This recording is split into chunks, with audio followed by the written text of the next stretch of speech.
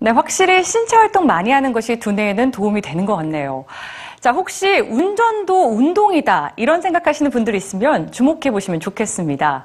내가 운전하지 않아도 스스로 운전하는 차가 나온다면 탈 생각 있으신가요? 미시간 대학교의 한 연구팀이 사람들에게 만약에 이런 차에 탑승한다면 뭘 할 거냐라고 물어봤더니 그냥 밖을 본다 또는 잠을 자거나 게임을 한다 다양한 답변이 나왔다고 하는데요. 조만간 이런 일들이 현실이 될지도 모르겠습니다. 자, 무인 자동차의 세계 함께 만나보시죠. 목적지까지 알아서 안내하는 내비게이션. 집안 곳곳을 혼자 청소하는 로봇 청소기. 사람 없이도 물건을 뚝딱 만들어내는 공장의 자동화 기계. 주변을 둘러보면 우리의 삶은 이미 사람이 필요 없는 무인 기술들로 가득합니다. 그런데 사람들이 정말로 무인 기술을 바라는 분야가 또 하나 있습니다. 바로 운전자 없는 자동차, 무인 자동차입니다. 공상과학 영화에서나 볼 수 있었던 장면이죠. 어느새 현실이 됐습니다. 여러 자동차 제조사들을 제치고 무인차 개발에 엄청난 속도를 올리는 곳은 다름 아닌 구글입니다. 지난 5월 구글은 운전대와 페달, 브레이크는 사라지고 출발과 정지 버튼만 있는 무인 자동차 시제품을 공개했는데요. 자동차 천장에 설치된 센서가 주변 사물들을 파악해 장애물을 피하게 하고 자동차 내부에 설치된 컴퓨터는 센서가 수집한 정보를 바탕으로 출발과 정지를 판단합니다. 구글은 이미 2009년부터 비밀연구소 X에서 무인자동차 프로젝트를 시작했고, 오는 2017년에는 무인차를 상용화한다는 목표인데요.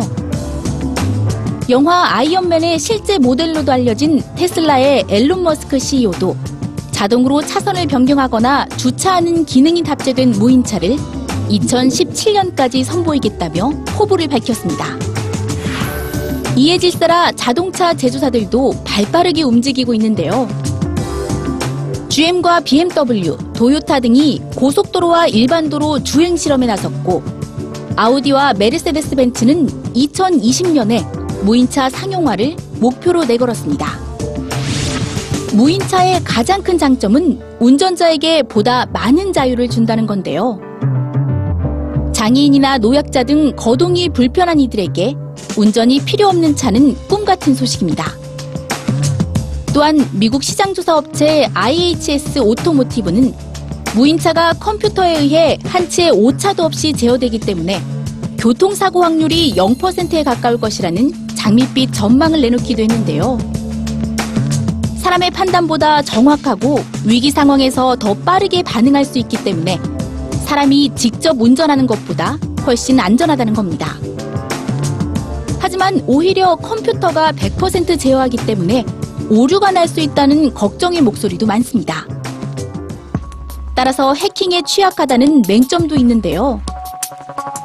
미 연방조사국 FBI는 무인차가 테러리스트를 비롯한 범죄자들에게 손쉬운 범죄 수단이 될 것이라며 무인 자동차를 잠재적 무기로까지 규정했습니다.